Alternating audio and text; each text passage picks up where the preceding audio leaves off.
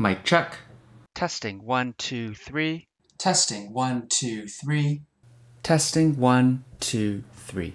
So, like many of you, I've had a lot of Zoom meetings these past few months, and the timing is kind of a funny thing because I picked up the Logitech C270 webcam just before everything locked down and everybody started working from home. I have a video comparison up for that budget webcam up on my YouTube channel. I'll put the link in the video description below as well as on the YouTube card here if you want to check it out.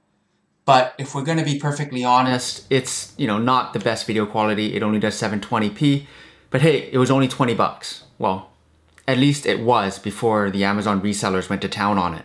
Now you see, part of the reason why I bring this up is that audio quality is arguably just as important, if not even more important, than video quality. This is obviously the case with you know YouTube videos like this or like Twitch streaming, but it's also you know very important when you're on important Zoom conference calls and that sort of thing. So today we'll be comparing the audio quality across four very different microphones. There is the Rode VideoMic Pro, which I have using on my main vlogging camera here. There is the HyperX Cloud Revolver headset that you can hear right here. There is the microphone that is built into the Logitech C270 webcam. Plus there is the Fifine K669B USB microphone. Let's get started. So the first audio test I'm doing here is going to be a probably familiar one for you. It is the Rode VideoMic Pro that I have attached to my main vlogging camera here. This is the microphone that I use for pretty much almost all of my YouTube videos. So it originally retailed for about $300 and I, am using it as the main comparison benchmark for these other three microphones that we'll be talking about in today's video. So you can kind of use this as the de facto standard for where ideally I want my audio quality to be for all of my videos. So this is the HyperX Cloud Revolver headset. They have a whole line of cloud headsets and they provide great audio quality uh, for listening to games and movies and music and all that sort of stuff. Uh, something like this will run you about a $100. Uh, I find the audio quality on the microphone to be just kind of okay. I, I know that on some of my Zoom meetings, some of the other people said that I sounded especially quiet compared to the other, other participants.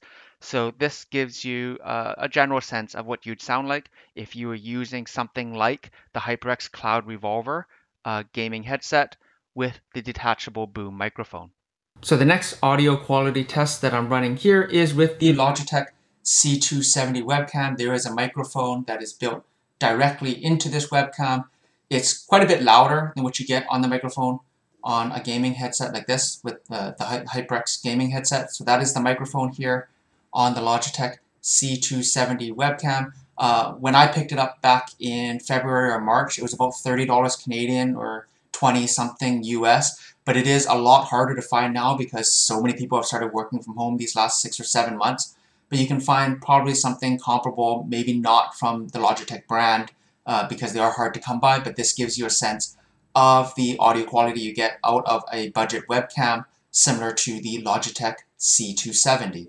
And finally, we have the Fifine K669 USB microphone. Uh, people see this kind of as a more budget-oriented alternative to de facto standards like the Blue Snowball or the Blue Yeti. Uh, Uh, from what I understand, you could have gotten it for about $30 US in the before times, but with everybody doing more podcasting and Zoom calls and all that kind of stuff, just like everything else, this microphone has gone up in price. I picked it up a couple of weeks ago for $60 Canadian. I, I think you might still be able to find it for $45 US or so. And I find that the audio quality on it is astronomically better than what I'm getting out of the gaming headset or through the webcam. Uh, there is a gain control knob here. I'll throw in some B-roll here so you can see.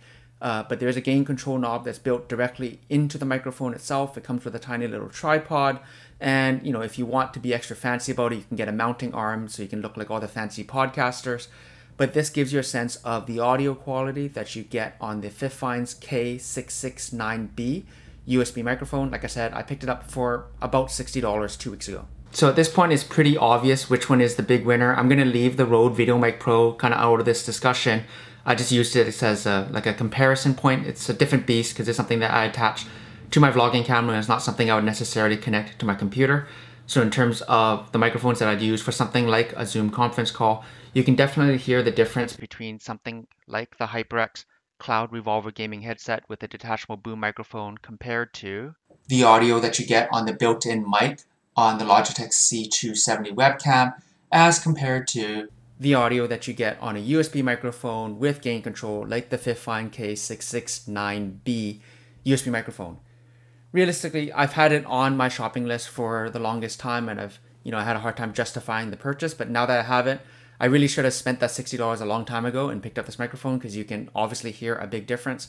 So even switching between the Fifine audio that you're listening to right now compared to the Rode Video Mic Pro audio, it's uh, quite comparable and it's actually very good. So it, it's really good for if you want to do podcasting, Zoom conference calls, anything on your computer, Twitch streaming, that sort of thing.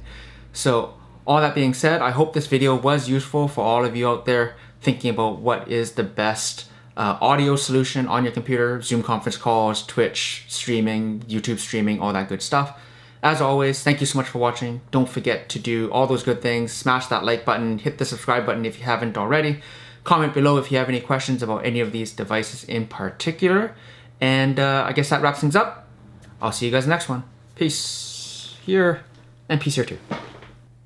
Hey there, Editor Michael here. Just wanted to say that the Fifine is also great for these sorts of whispering ASMR type videos too. Or the cool podcasting voice. That's pretty cool. Okay, that's all. Thanks for watching.